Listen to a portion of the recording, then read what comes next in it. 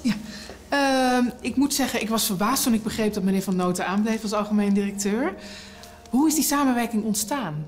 U hebt immers een totaal andere visie op het gebied van kunst. Ja, dat klopt. Eh, maar aangezien ik de eigenaar ben, bepaal ik ook de koers.